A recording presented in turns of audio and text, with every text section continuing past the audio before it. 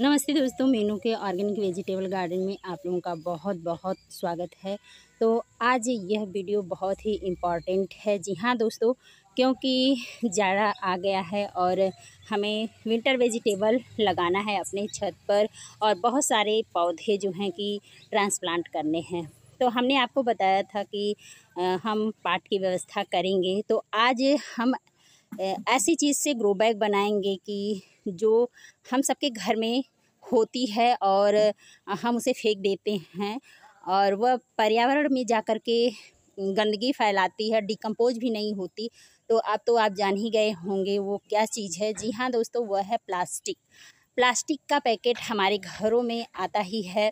Kitchen का सामान हो या कोई भी प्रोडक्ट हो प्लास्टिक पैकेट में ही हमारे घर में आता है। तो आप यहाँ देख रहे हैं, ये ग्रो बैग है मार्केट से ख़रीदा हुआ। मज़बूत ग्रो बैग आप घर पर ही बना सकते हैं प्लास्टिक पैकेट से। तो यहाँ पर देखिए कुछ ग्रो बैग मैं बना ली हूँ। यहाँ देख रहे हैं आप, ये प्लास्टिक पैकेट है और बहुत ही मज़बूत है। इसे बनाई हूँ मैं और कुछ देखिए प्लास्टिक पैकेट में लाई हूँ। यहाँ पर आप देख रहे हैं। ऐसे प्लास्टिक के पैकेट आपके घर में भी उपलब्ध होंगे। तो इन प्लास्टिक के पैकेट का आप गार्डन में पौधा लगाने के लिए बहुत ही अच्छी तरीके से प्रयोग कर सकते हैं। तो छोटे बड़े पैकेट हों तो आप उनका यूज़ कर सकते हैं। यहाँ पर देखिए एक पौधा लगा हुआ भी आप देख सकते हैं। ये भी प्लास्टिक का पैकेट है बड़ा सा। तो जैसा पैकेट रहेगा, वैसा पौधा आप लगा सकते हैं। बहुत लगाई हूँ टमाटर। वो आप देख भी सकते हैं और इस बार भी लगाऊँगी।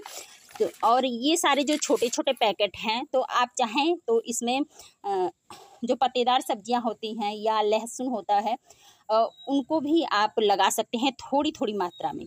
और नहीं तो फिर आप कोई भी फ्लावर प्लांट जो छोटे पार्ट में लगाया जाता है, वो लगा सकते हैं। तो कोई भी प्लांट या सब्ज़ी लगाने के लिए पहले हम प्लास्टिक पैकेट से ग्रो बैग बनाएँगे। तो यहाँ पर देखिए, बना हुआ है, लेकिन मैं आज आपको बना करके दिखाऊँगी इस वीडियो में। और बनाने के बाद ये लॉन्ग लास्टिक होता है मतलब कम से कम दो तीन साल तो ये आराम से आपके गार्डन में लगातार यूज़ करेंगे, तब भी रहेगा।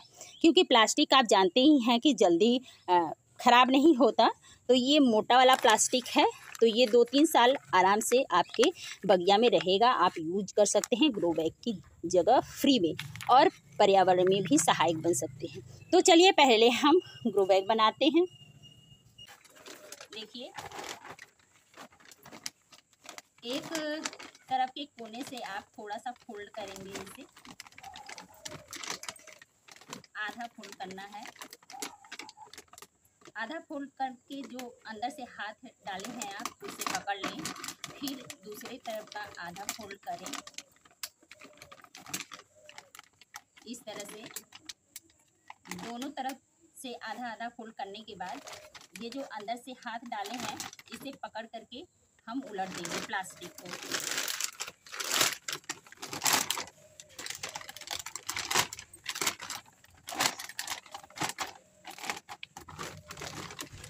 उलटने के बाद इसे सेट करना है।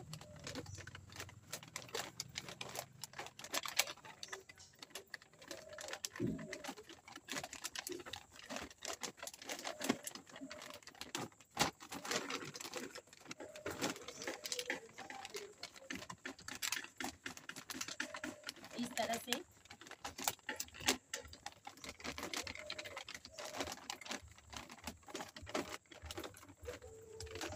इस तरह से देखिए, दोनों कोनों को पकड़ के हमने उलट दिया है प्लास्टिक पैकेट को। और इस तरह से देखिए, ग्रो बैग के सेट में आ गया। और ऊपर से थोड़ा थोड़ा मोड़ देंगे। लगभग दो दे दो दो इंच प्लास्टिक को इस तरह से फोल्ड कर देंगे। ताकि जो ऊपर से मुड़ जाता है तो ये मुड़ेगा नहीं ग्रो बैग की ही तरह एकदम टाइट रहेगा। और अब हमें नीचे कुछ होल बनाने हैं। तो कम से कम इसमें छः सात होल बना दीजिएगा नीचे से। आप चाहे तो किसी राड को गर्म करके, पतले राड को गर्म करके भी होल बना सकते हैं। जैसा कि आप देख रहे हैं, यहाँ पर बना हुआ है। ये एक पतला राड था, उसे मैं गर्म करके होल करी हूँ, गोल गोल है। और या आप चाहें तो कैची से भी होल कर सकते हैं। दोनों तरफ़ से थोड़ी थोड़ी प्लास्टिक पकड़ने के बाद छोटा छोटा होल बना देंगे, ताकि जो एक्स्ट्रा पानी होगा वो निकल जाएगा। अभी मैं दो होल बना के आपको दिखा दे रही हूँ। इस तरह से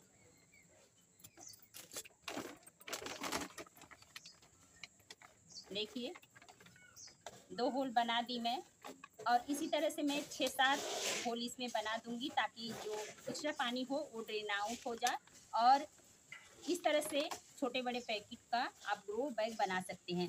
तो यहाँ पर देखिए, एक छोटे पैकेट से मैं बना दे रही हूँ। इसको भी उसी तरह से करना है और जो भी खाद्य पदार्थ हो या निरमा वगैरह की प्लास्टिक हो तो उसे धुल दीजिएगा। इसको भी उसी तरह से करना है, दोनों तरफ़ से आधा आधा फोल्ड करके पकड़ लेना है अंदर वाले हाथ से, फिर प्लास्टिक को सीधा कर देना है।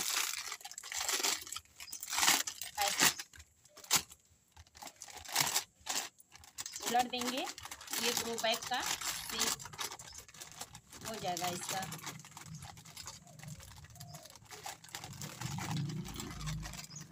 देखिए और ऊपर से इस तरह से थोड़ा थोड़ा फोल्ड कर देंगे।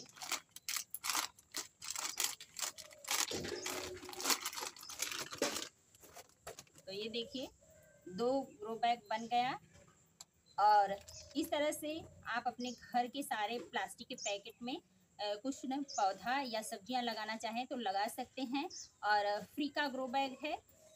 काफ़ी समय तक रहता है, जल्दी ख़राब नहीं होता। आशा करती हूँ कि वीडियो यूजफुल ज़रूर होगा और इस ग्रो बैग को कैसे भरते हैं, ये अगले